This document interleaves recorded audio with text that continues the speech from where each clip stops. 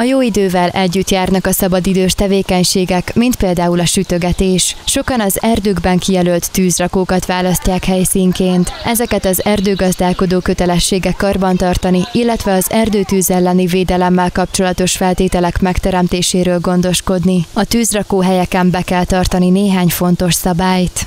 Amennyiben nem otthon végezzük a grillezés, bográcsozást, tehát magát a tűzrakást, mindig oda kell figyelni arra, szabadban, erdőtben kifejezetten, hogy csak kijelölt tűzrakóhelyeken gyújtsunk tüzet, és csak abban az esetben, hogyha meggyőződtünk arról, hogy a kijelölt tűzrakóhely környezete éghető anyagtól mentes, amennyiben nem, akkor azt távolítsuk el onnan.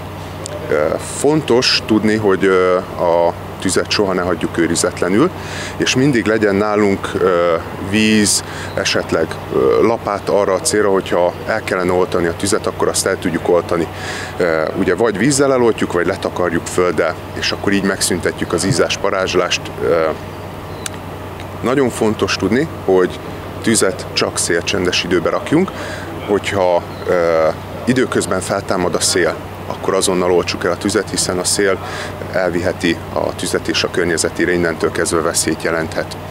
Dunaújváros alsó Dunapartján, valamint a Szalki-szigeten is számos tűzrakóhelyet alakítottak ki, amely megfelel a családdal, barátokkal való kikapcsolódásnak, sütögetésnek. A szigeten előre kell igényelni a tüzelőt, de az alsó Dunaparton a nyilvános illemhely alatt mindig található fa, amelyet a DVG ZRT biztosít a kikapcsolódóknak. Hát a városban folyamatosan történnek a meccések, nyilván ezeknek a letört ágaknak, kivágott száraz fáknak a, a fáját hozzuk ide le.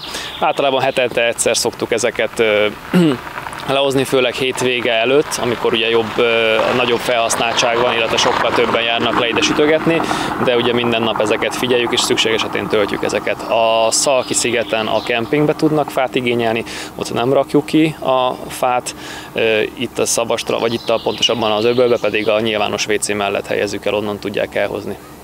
Tűzrakás előtt mindig legyünk tisztában a tűzgyújtási tilalommal is, amelyet fokozott tűzveszély esetén az erdészeti hatóság, illetve az erdőgazdálkodásért felelős miniszter rendelhet el. Erről a www.katasztrófavédelem.hu honlapon tájékozódhatunk. Mészáros László arra kéri a tűzrakóhelyek használóit, hogy ügyeljenek a rendre és a tisztaságra.